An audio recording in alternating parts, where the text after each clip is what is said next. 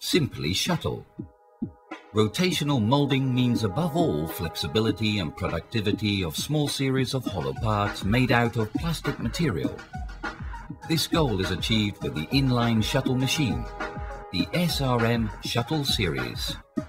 The name is derived from the inline movement on rails, carried out by the mold holding arm, similar to a shuttle which enters the molding chamber and returns to the cooling and loading unloading station. The shuttle machine has important characteristics and differences from the other types of machines, as seen in this three-dimensional animation. An important characteristic is the absence of closing doors. The ceiling of the moulding chamber, as can be seen, comes from the insulated panels mounted on the mould holding carriages. This design offers several advantages. The absence of maintenance on the door opening and closing mechanisms. Rapid production cycles not having to wait for the opening and closing of the doors, safeguarding of uniform cooking conditions, minimizing heat loss. It is the only machine on the market with arms supported at both ends, allowing a higher load capacity, especially important when running molds of huge dimensions, up to 30,000 litres volume.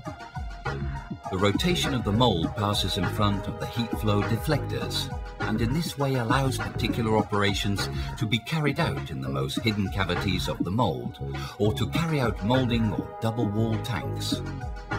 Hardware and software systems already described for the machines with independent conveyors can also be applied to the machines of the Shuttle series. Observing this machine in operation, one can note that the characteristic movement on rails allows a continuous and flexible cycle, each arm being totally independent in respect to the other arm and able to act in its own time. The three typical phases of the manufacturing process, cooking, cooling, loading unloading are completed on the same rail in two different stations. The first internal, the oven, the second external, to the left or to the right of the cooking chamber, equipped with cooling fans and space for loading unloading. Also thanks to their simple design, as well as their adaptable and modular design, the shuttles accomplish the most diverse production needs today.